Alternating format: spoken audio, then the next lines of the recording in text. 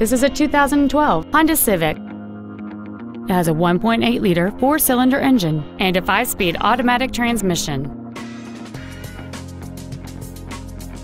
All of the following features are included air conditioning, cruise control, a rear window defroster, a CD player, front side impact airbags, a security system, traction control, an anti lock braking system, a keyless entry system, and this vehicle has fewer than 42,000 miles on the odometer. With an EPA estimated rating of 39 miles per gallon on the highway, it's easy to see how you can save. Call or visit us right now and arrange your test drive today.